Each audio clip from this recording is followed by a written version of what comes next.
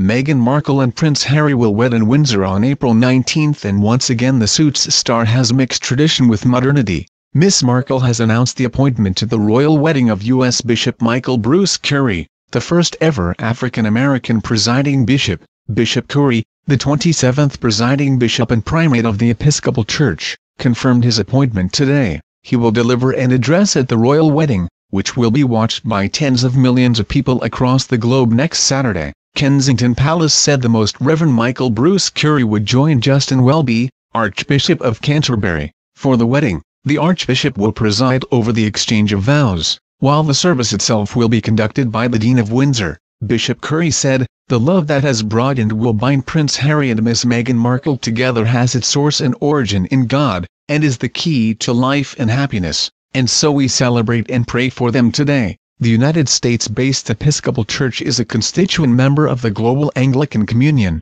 of which the Church of England is the mother church. According to its website, Bishop Curry has been active in issues of social justice including immigration policy and marriage equality. Meghan and Harry have made an effort to put their own twist on their wedding but the pair will still follow several traditions, and former royal butler Grant Harrold, who runs the Royal School of Etiquette and Butlers, has spilled the beans on which traditions he believes will be honored at the wedding. He exclusively told Express UK a lot of the traditions and laws of the past have changed, especially when it comes to royal etiquette such as marrying divorcees. We've got to understand it's not a royal family from a hundred years ago, it is a very modern royal family and so we will be pleasantly surprised from what we see on the day. One tradition Meghan will have to do without question is give a curtsy to the Queen as an acknowledgement after she is formally married, but many other customs will be more relaxed, according to Mr. Harrold.